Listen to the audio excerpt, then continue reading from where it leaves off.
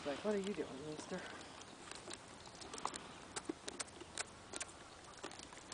Come on. Come on, let's go. Let's take a couple steps. Couple steps. Come on. Couple steps, Mufasa. All right. Good boy. Good boy.